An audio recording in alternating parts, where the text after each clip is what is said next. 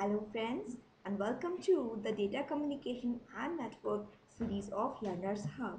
In this video, we are going to discuss internetworking devices. So, internetworking devices operates at the network layer and the upper layers of the OSI stack model. So, basic internetworking devices are routers and gateways.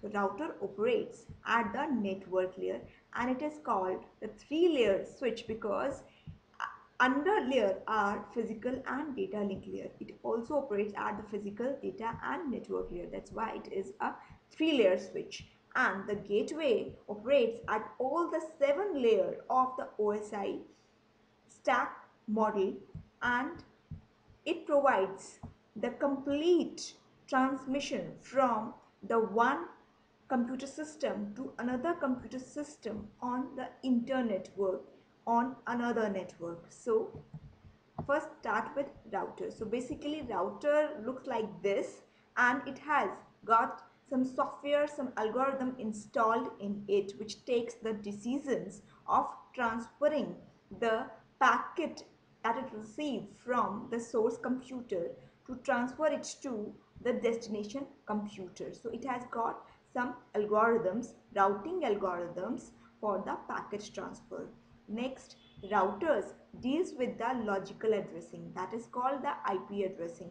Basically, when computer system connects to the internet through the internet working, they get an IP address. So, IP address of the source computer and the IP address of the destination computer are written on the packet for the transfer of the information.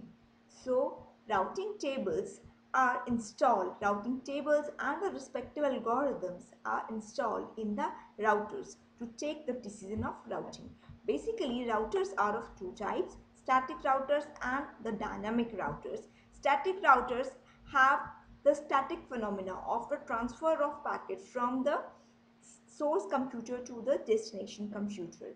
But when there is dynamic routing in dynamic routing it can randomly take the decision or it can dynamically take the decision on the basis of the traffic or the congestion in the path. So dynamic are always better than the static routers. Next routers how they operate. In an internet see here are different networks are shown and it operates at the inter-network level means with between two different networks. So this is a network which is having a ring topology. This network is having a bus topology and it is connected with this router. And some wire or cable is plugged in to the port of the router which are, is providing the connecting medium between two different networks so routers operate in between the different networks. It provides connection between the heterogeneous networks.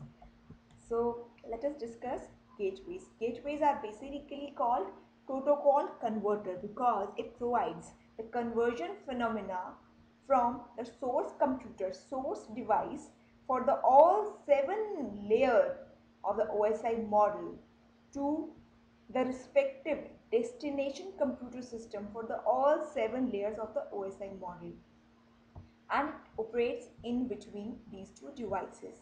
So what does it mean?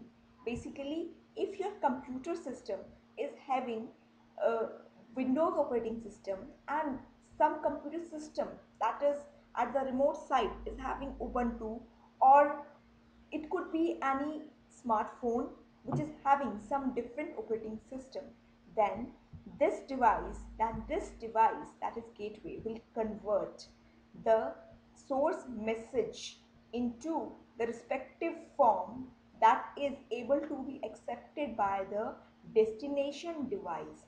So basically it provides the conversion. It provides the translation for the all seven layer features of the OSI model.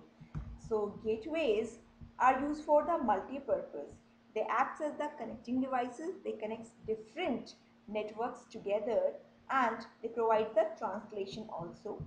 See, th this is one network which is having some configuration and this is another network which is having some different configuration and this is a gateway gateway it has got softwares installed installed in it which provides the protocol conversion here so gateways operate at the all seven layers of OSI model and they can provide the physical link between different networks. They translate different network protocols to the respective required level of protocols. So this was all about gateways.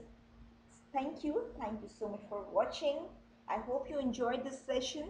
Please subscribe my channel. Thank you.